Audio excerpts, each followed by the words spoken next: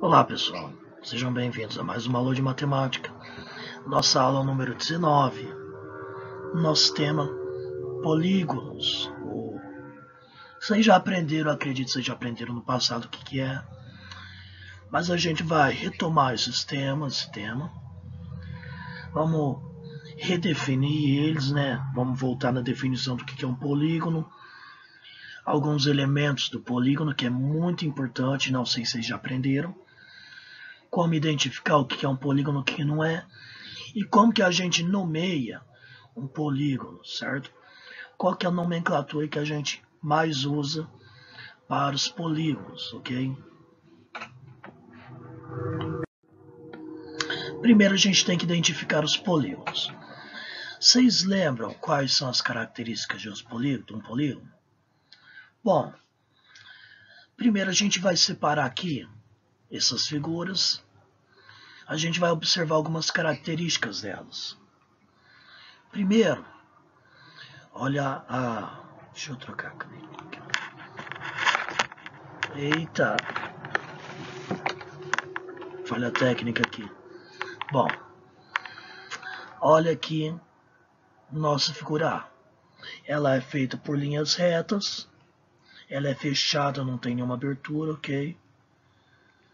Aqui ela tem um, ok, tipo uma coisa para dentro ali, uma curvinha para dentro.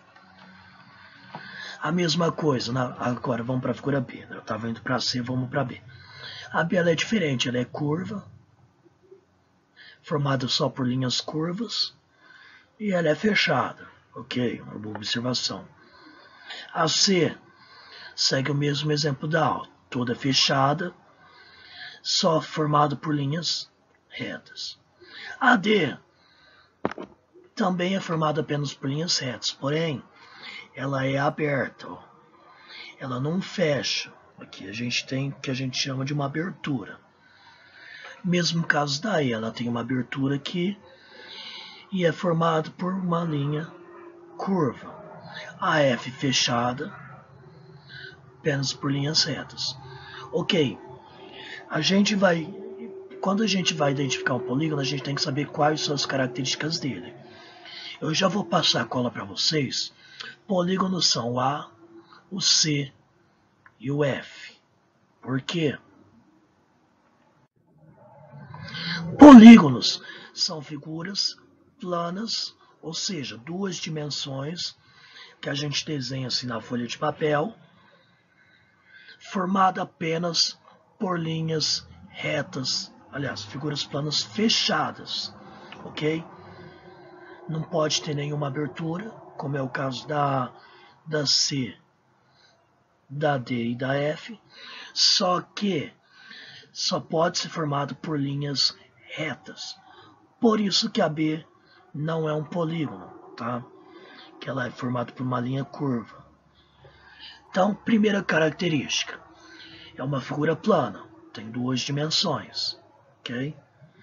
Se desenha ela assim na folha de papel, não tem uma altura. Segundo, ela é fechada, não tem nenhum tipo de abertura na figura, ok? Diferente dessa e dessa. Terceiro, formada apenas por linhas retas, essas linhas retas nós chamamos de segmento de reto. Acredito que eu falei para vocês já algumas aulas anteriores. Tipo, numa reta, você tem uma reta, você arranca um pedacinho dela. É um segmento de reta, ok? Então, essa é a nossa definição para polígonos. Poli, muitos. Gonos, ah, eu vou falar isso aqui depois. Vamos lá. Elementos de um polígono. O que, que são os elementos? É o que constitui o polígono, cada pedacinho dele. Nós temos aqui ó, o polígono ABCD, ABCDE. A gente nomeia o polígono dessa maneira pelas letrinhas que o compõem lá. E o que são cada uma dessas letrinhas? São os vértices, ok? Cada uma dessas letrinhas assim se chama elas estão nomeando os vértices, tá? Então eu já vou explicar o que é vértice melhor, mas eu vou falar primeiro da nomenclatura dele. O polígono a gente usa as letras dos vértices para nomear ele. Polígono A, B, C, D, A. Pode ser o JFK, é um triângulo. Vocês vão aprender. A gente vai chegar lá. Tá. Primeiramente, cada segmento de reta, ok? Segmento de reta é a linha lateral que forma o polígono, certo? Então tenho essa, essa. Então tenho AB, AB, BC, CD, D, e A ou AE, tanto faz. Note, gente, que geralmente, quando a gente fala segmento de reta, ele tem uma barrinha aqui em cima, tá? É que na, na hora de digitar não tem como colocar essa barrinha. Mas no, nos que são imagem, nos próximos slides, vocês vão ver que todos têm a barrinha. Então sempre, segmento de reta, tem a barrinha ali em cima das letras que denotam o início e o fim do segmento. Então, cada um desses segmentos aqui, ó, nós chamamos de lados dos polígonos. Cada segmento de reta é um lado do polígono, certo? Cada extremidade, deixa eu pegar outra cor. Ou seja, aonde cada lado se encontra, os lados se encontram, nós chamamos de vértice, ok? Cada uma dessas que a gente vai chamar de quinas é um vértice do polígono. Lembra que o professor de matemática é ruim nas artes, tá? Em cada vértice do polígono, nós temos um ângulo interno. Deixa eu pegar outra cor aqui. Tá? Nós temos um ângulo interno aqui, ó. Finge que tá bonitinho. Eu coloquei essa outra imagem aqui, ó, para vocês notarem que a gente está falando de ângulos internos, tá? Ó. Então a gente olha o ângulo que está dentro do polígono, tá lá dentro. Às vezes vocês vão pensar, ah, quero o ângulo, sei lá, Aí ao invés de vocês marcarem o ângulo certo, vocês vão, quando o polígono tem uma entrada para dentro, a gente fala assim, vocês vão aprender o nome desse polígono mais para frente. Aí, aí vocês vão marcar ali, ali vocês marcar ali, tá errado, tá? Ângulo interno, ele tem que estar tá dentro, tem que estar tá dentro do polígono, certo? Então o que, que nós temos aqui? Os lados dos polígonos, cada segmento de reta que compõe o polígono, até ele fechar. Vértice é a quina de cada, é a quininha em cada uma das quinas do polígono.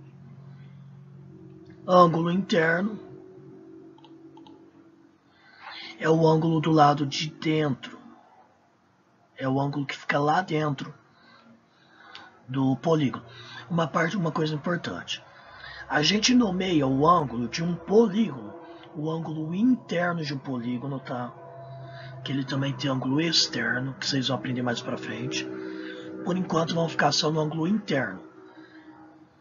A gente costuma usar a letra.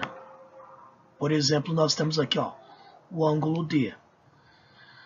A gente costuma nomear esse, esse ângulo com a letra do vértice que ele está D e um acento circunflexo nele. Só isso. Vocês aprenderam a nomear ângulo assim, ó. O ângulo D, então, é CDE, certo? Ok, essa é a maneira certa de nomear um ângulo.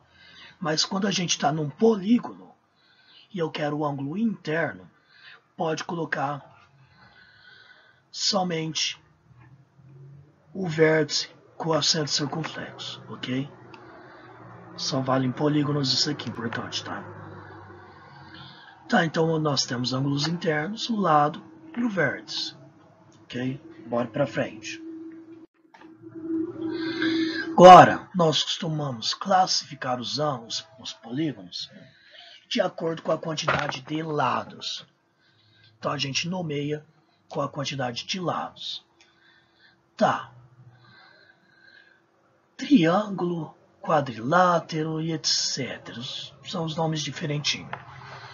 Ó, lembra como eu falei que a gente nomeia o polígono pelos vértices A, B, C, então ABC ou CBA, tanto faz, não importa a ordem que se coloca, desde que eles estejam em sequência. ABC é o nome, CBA, outro nome, BCA, outro nome, BAC, outro nome, para representar esse mesmo triângulo. Os vértices são A, B, C. Os ângulos internos, o A aqui dentro, com acento circunflexo, ó. O B, que é o vértice, representa esse ângulo aqui, ó. B com acento circunflexo representa esse ângulo. C com acento circunflexo, esse ângulo. São os ângulos internos. E os lados? AB, olha lá, ó, olha a barrinha lá em cima para representar um segmento de reta. BC, CA. Então nós temos esse triângulo, esse quadrilátero, eu já vou falar o nome disso aqui, é um hexágono, ok? Cada um desses polígonos, eles quero que vocês observem, vou passar para o próximo slide, que a quantidade de vértices é a mesma da quantidade de ângulos, que é a mesma da quantidade de lados em um polígono. Sempre, não importa quantos lados ele tenha. Vai ter a mesma quantidade de ângulos, e a mesma quantidade de vértices. Por isso, a gente nomeia os polígonos de acordo com a quantidade de lados. Nós temos os primeiros triângulo, triângulo, a gente fala triângulo, três ângulos, três lados, tanto faz.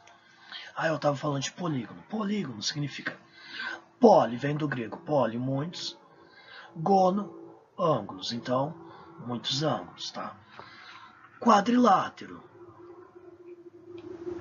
Quatro lados. Pentágono, penta, cinco. Gono, como eu já falei, ângulos, então cinco ângulos. Hexágono, hexa, seis. Gono, ângulos. Então, seis ângulos, tá? Mas a gente nomeia de acordo com a quantidade de lados. Daqui para frente é tudo gono. Hexágono, heptágono, octágono, só vai mudar a, o prefixo, né? vamos voltar para o português, ó. o prefixo da palavra. Tá? Ah, não sei o que é prefixo. A professora de português já deve ter falado para vocês. Prefixo, radical, sufixo, essas coisas. Eu não lembro, mas Tá, é importante vocês saberem isso também. Então, gente, observem que o nome do polígono ele é dado de acordo com a quantidade de lados que ele tem, certo? No próximo a gente tem uma, uma listinha dos, dos nomes principais. Não existe polígono de um ou de dois lados porque ele não fecha, tá? Tem que ser linha reta, lembra disso triângulo, três lados, quadrilátero, quatro lados, pentágono, cinco lados, hexágono, seis lados, heptágono, octógono, eneágono, decágono, tá, e assim por diante. O que, que é importantíssimo vocês saberem os nomes? Esses aqui, ó, todos eles, tá? Nossa, que horror, meu Deus. E esse daqui, ó. E esse daqui, ó.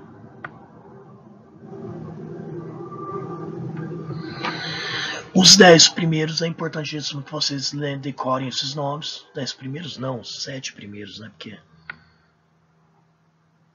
esses aqui não existem. aqueles sete primeiros, mais o dodecágono, que é 12 lados, mais o icoságono, que é 20 lados. Esses aqui são os que mais aparecem em problemas, tá? Os outros ali já não são tão importantes, não aparecem tanto. Mas é importante vocês decorarem esses nomes aqui. Pessoal, essa foi nossa aula de hoje, espero que vocês tenham entendido. É... A aula de hoje foi mais para definir o que, que são polígonos, como que a gente nomeia eles na próxima aula. A gente vai ver algumas outras classificações de polígonos, certo? De acordo com o formato deles, tá?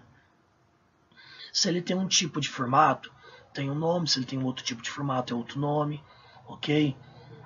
Então, gente, até a nossa próxima aula. Tenham bons estudos em casa.